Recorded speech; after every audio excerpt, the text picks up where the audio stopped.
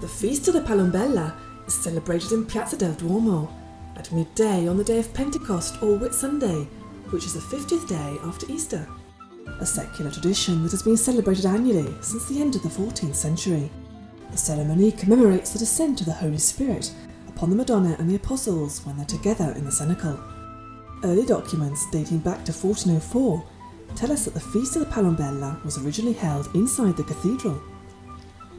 In 1524, the noble lady Giovanna Monaldeschi della Cervara left her estate, the Castello della Sala, to Orvieto's Opera del Duomo in her will, together with her wish that this festival would continue to be celebrated.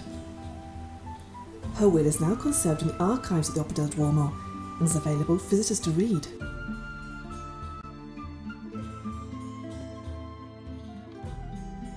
The Palombella was held inside the cathedral for many years, but later the Lateran Roman Council forbade the use of fireworks inside churches and places of worship, and the ceremony was transferred to the piazza outside the Duomo in 1846. A tabernacle in Gothic style with the figures of Mary and the Apostles was placed on the steps in front of the central portal of the Duomo. This represents the cenacle, and the dove was sent along a wire from the top of the Saracinelli and Faina buildings down towards the Duomo. In 1940, the wire was extended to the Church of San Francesco in Via Maitani, opposite the Duomo, behind its original position.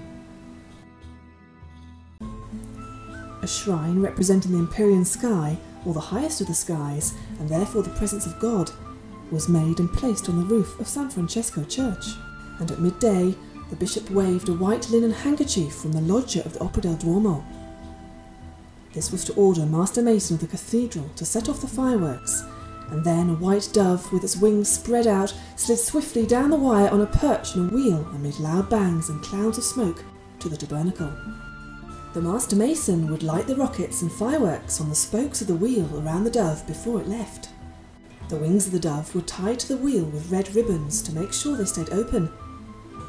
The ceremony continued to be celebrated in this way until a few years ago, then, after protests from animal activists, the dove was placed in a soundproof container to protect the bird from the noise of the fireworks.